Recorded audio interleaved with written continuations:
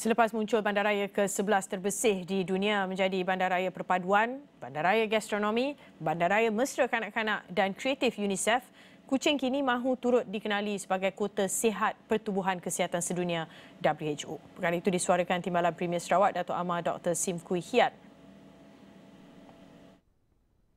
Katanya dengan tumpuan yang pelbagai termasuk menjadi bandaraya bebas karbon, mesra kanak-kanak dan golongan warga emas, usaha ini tidak mustahil untuk dicapai. We wanted to, as we are getting old, we also wanted to build edge or edge friendly city.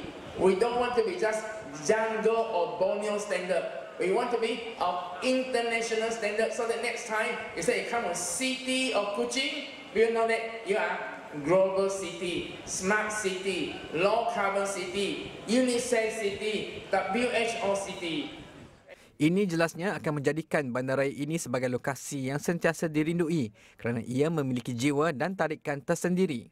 Beliau berucap merasmikan Festival Makanan Kucing di Padungan. Festival yang diadakan sempena sambutan Hari Bandaraya Kucing ke-36 itu menyaksikan penyertaan lebih 300 peserta. Bermula 26 Julai, kemeriahan festival ini akan berlangsung sehingga 18 Ogos depan.